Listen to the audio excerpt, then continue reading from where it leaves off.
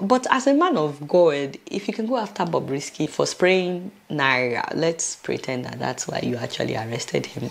Haven't you seen the video of the governor of Niger State, for example, spraying money on the street?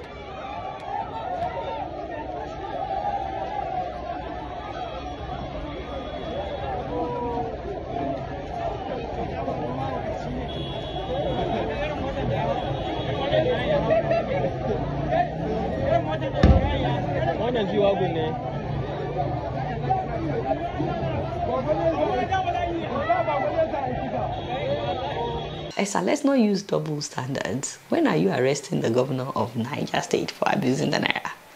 I forgot he has immunity. Yeah, we like to give immunity to people that are allegedly thieves. But even though he has immunity, would you invite him just for him to know that what he did was wrong? And not just him, all the high profile people that are spraying the naira. When will you arrest? I mean, listen, guys. Some of you might say I'm wrong some of you might say, I do not understand what I'm talking about. Some of you might say that I'm just talking things I have no idea. But if you really look critically, right, you will understand that there is what we call selective punishment in, in, in, in Africa. That people who are powerful are not being punished, right? That instead of um, security officials going after people who are really destroying the nation, who are doing things that are affecting a majority of the people, they will rather target people who really have no significant impact on other people. Now, it's not just me saying it. Many other people in Africa are also saying the same thing. And if there's one thing politicians and powerful people know very well about common people like you and I is that they can easily manipulate us. Is that we are easily manipulated. We have let ourselves to be easily manipulated. That is just it. But before we continue further, okay, I want you guys to watch this video. It was made by a Nigerian social media influencer or YouTuber and listen to what she had to say. Put aside your bias for Bobrisky and just listen to what she is saying. I feel like a lot of Nigerians have forgotten that our officials like to distract us with mundane things so that we won't focus on our focus. See, in case you don't know, this whole Bobrisky issue, which again, I can't even believe that we are focusing on Bobrisky, but this whole Bobrisky issue to me is nothing but a distraction from the things that are important. And I think one of their weapons is to use your own prejudice against you. They already know that a lot of people don't like Bobrisky, so they went after him, and so many people are celebrating. Meanwhile, many of them are not even asking, how come they concluded Bobrisky's case within three weeks? Back, back, back. They arrested him, they arraigned him, they sentenced him. He's already in prison, all within three weeks. you know, if they can ensure justice because somebody abused Naira, Naira that cannot talk, if they can ensure justice for that, don't you think they should be quicker to arrest, arraign, and sentence those that are stealing our money? At least Bobrisky was paying his own money. That is why he was arrested. But some people have stolen the money that is meant for you to have good roads, which is causing a lot of accidents on our roads, killing a lot of people. They've stolen money meant for you to have good hospitals, stable electricity, running water, which is making life difficult for a lot of people, millions of people every day. But many Nigerians are celebrating, they are saying that Bobrisky is influencing their children. I'm sorry to say, but if your children have access to the internet, they have access to millions of influencers, both the God fearing influencers and the ungodly influencers. You cannot get rid of all the influencers. In fact, Bobrisky's page is not public. He didn't make it public. He has always made it private. You would have to request to follow him and he would have to accept before you can see any of his activities on Instagram. If your children have access to the internet, I think there are bigger things to worry about online, like pornography. If you can train your child not to be watching porn, then you can definitely train them not to go on Bob Bobrisky's Instagram page if you don't want them to. Because if you think that arresting Bob Bobrisky is what will keep your children straight. I'm sorry to disappoint you, but you may be in for a rude awakening. But you know, I digress. My main point is that look at the present Senate president, for example, former Governor Akpabio. The man was accused of allegedly stealing 100 billion when he was the governor of Akwa Ibom between 2007 and 2015. 100 billion naira. He's been under investigation by this same EFCC since 2015 that immunity no longer covers him. Nine years now, we are still on the matter. Meanwhile, the Network Against Corruption and Trafficking said the amount he actually allegedly stole was 1 trillion, not 100 billion. People's money. Just imagine where Akwa Ibom would be today if that 100 billion or 1 trillion was actually invested in Akwa Ibom between 2011 and 2015. Think of how many jobs would have been created by now. Think of how their schools would be. Think of how many families would have been lifted out of poverty. It baffles me that all the EFCC did was to urge him to turn himself in. They didn't go to his house to arrest him like they arrested Bobrisky. In fact, the last time they urged him to turn himself in was May of last year. Today he's the Senate president, number three in command.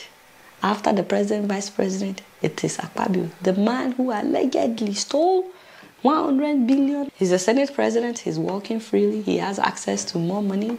He celebrated his birthday at a huge stadium. You guys have heard what she said, right? There are many things that are wrong with our nation. There are many things that are going wrong every single day. But people who are supposed to do something won't do anything, won't really get those people who are destroying our nation accountable. They won't hold them accountable. That's why those people keep on doing whatever they want to do and they go scot free. They go scot free. Imagine the amount of money that is being stolen from the state, and that money that is being stolen affects you and I because roads are not being done, hospitals are not being supplied with, with, with, with medical appliances schools are not being equipped with modern days appliances or modern days learning materials. But yet still we cannot hold them responsible, right? We, we, we, we, we do not even see anything wrong with what they are doing. Rather, we will hold somebody who is not doing anything that affects us. That is a person who will be happy to see them being persecuted. Bobrisky spread Naira. Yes, so what? What about all the embezzlers? What about all those people who, who have diverted public funds into their private accounts? What have the F, uh, EFCC done about them? What? What have they done about them? Can anyone tell me? Just imagine what will happen to our states if all those people who stole money were being told or were being held accountable and this money they stole brought back to the system, what would happen? Wouldn't us, wouldn't us have good roads? Wouldn't us have good drinking water, like what the lady said in the video? Africans must get their priorities straight. For far too long, we are being deflected our attentions are being deflected into things that really do not help us. It was the same thing in Ghana. When Ghana was facing one of the most severe economic crises, in fact, Ghana as a country was in the gutter. They, they were unable to pay their bills, if not of the IMF and the, and the, and the World Bank that came to their aid. Ghana would have gone bankrupt. In, in fact, some analysts speculate that Technically, Ghana was bankrupt. What they, what they got was a bailout. Technically, they were bankrupt. And instead of Ghanaians lawmakers trying to figure out where all the money has been going or what went wrong, what really went wrong that Ghana was brought to that state, they were there fighting about anti LGBTQ laws. And according to them, that was the most important thing that would save Ghana from itself. They had to put laws in place to, to fight against people who identifies as LGBTQ or people who think they belong to the LGBTQ community. That was priority number one for Ghanaians lawmakers. Is that not a missed priority? Why the country was sinking, while everyone was suffering, while, while people had nothing to eat, people were struggling to survive. Lawmakers who are being paid by taxpayer money were out there busy in debating same-sex activities. Just, just, just, just process this for yourself. And now they pass the law. Okay, how has that law helped the ordinary Ghanaian? How has it? And the thing that got me so angry the most was that ordinary Ghanaians were, were so happy. You know, no, they were cheering. You know, they were so happy that the law has been put in place. According to them, this law was going to restore the value and sanctity of Ghana, according to them. And I was out here shouting that please, these lawmakers are trying to distract you guys. These lawmakers understand that the government is failing and they are unable to hold those who have failed the country accountable. And so they are trying to, to deflect the attention. And that was why they were coming forth with a so called anti LGBTQ law. That was just it. That was just it. And for some reason, the masses didn't even want to hear what I was saying. According to them, they are from a Christian nation, they are from a, religious nation, and they, they believe in family values and so on and so forth. And LGBTQ activities was destroying traditional values. Is that not a missed priority? Is that not a missed priority? It's the same thing going up in, going on in Nigeria. Bobrisky up, Bobrisky down, Bobrisky this, Bobrisky that. Nigerians cannot drink pure water, Bobrisky up. Nigerians do not have good quality roads, Bobrisky down. Ministers are embezzling money, Bobrisky up. Um, governors are spraying money in the street, Bobrisky down. Bobrisky, Bobrisky, Bobrisky, Bobrisky. Distraction, my brothers and sisters. Distractions. So before I end this uh, video, I want us to go through this article. Uh, it's from the uh, is it prison administration. They came out to assure all of us that Bobrisky's parts were all intact and uh, we shouldn't be worried that Bobrisky is a man. I do not understand the kind of like obsession with his body parts. But you know what?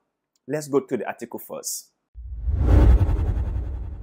So the headline reads, Controversial Nigerian cross-dresser Bobrisky's male organ intact.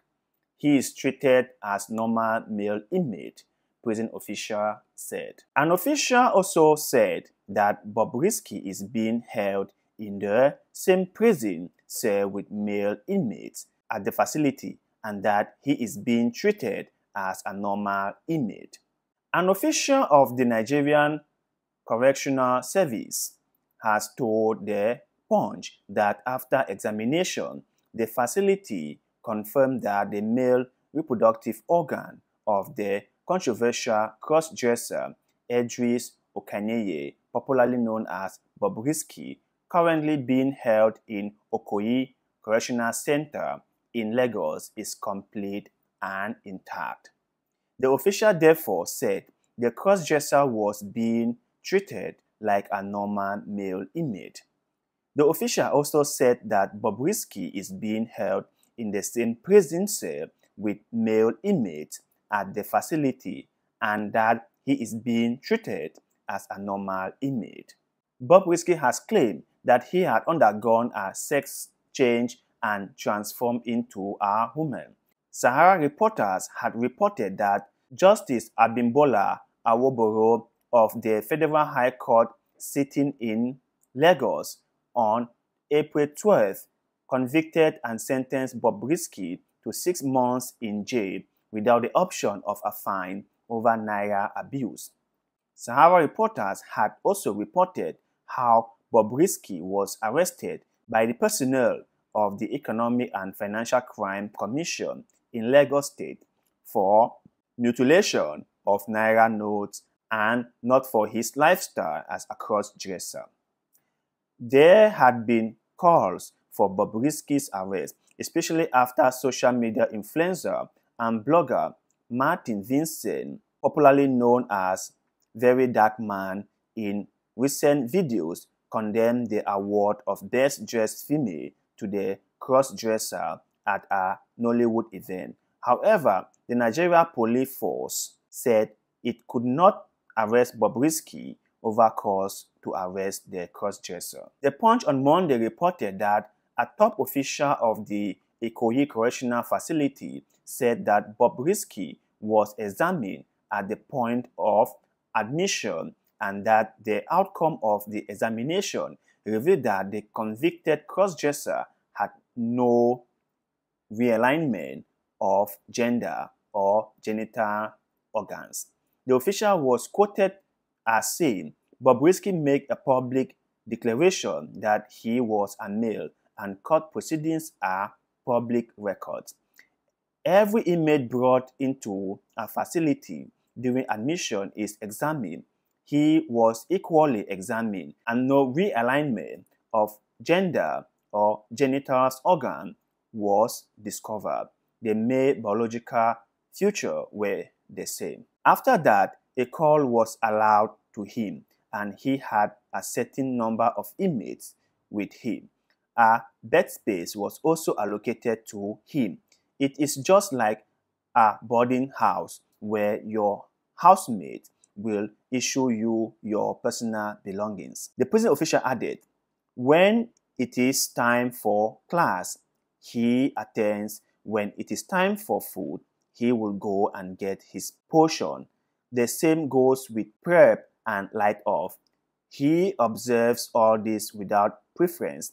He has been going about his business just like other inmates since he was brought in here. The official who also clarified the claims that Bobrisky was being protected against abuse said that the facility frowned against any form of abuse by a fellow inmate. The official said he is not getting any five star treatment and is not being protected from anybody. He follows the same rules and regulations just like every other inmate. Single cells of isolation cells are to prevent outbreak of communicable disease. In a male prison, homosexuality is outlawed and it is a grievous offense. Sodomy or homosexuality is frowned upon in the custodial center, so any inmate that tries to violate him will face the law. When asked in court if he was a man or a woman, Bobrisky told the judge that he was a man. So I just have to say this right. I do not get the obsession about his um, personal body parts. And uh, I do not think that this should have been made public because this is like a, a private issue, right? You cannot just go on air saying that someone's personal parts are intact. What were you thinking? Do you think that he sold the parts or what? you know, sometimes we humans are too obsessive about certain things that will make you wonder why. But all the same, I wish Bobrisky all the best and I hope he serves his prison sentence in peace and within a couple of months he will be out and he can then do whatever he wants to do. But I believe he must have learned from this incident of spraying money around and he wouldn't do it anymore. That's why I don't even understand why people spray money around. I personally, I don't do it, but I think some people love doing it. And if the law is against it, then please stop doing it. Do not spray money around. Do not get yourself into trouble, right? Don't spray it. If you want to um, encourage people, if you want to bless people, just give them the money in their hand. Don't spray the money on them. There's no point doing that. So I hope that um, this information is like that. And I hope that the people in Nigeria can understand that but basically going to prison wouldn't help them, wouldn't solve the economic crisis. They should be holding their lawmakers, holding their politicians accountable for all the things that is going on in Nigeria. But you guys out there, after watching this video and hearing that Bobrisky's private parts is still intact, what is your take? What, what do you think might be the reason why the prison officials thought it wise to make it public that Bobrisky's private part is intact? like, like how does that even concern us? but anyway, maybe it concerns you. So let us know in the comment section below because like, oh, we love hearing what you have to say. So thank you. And please do us a favor, okay? Like this video, share it, and then most importantly,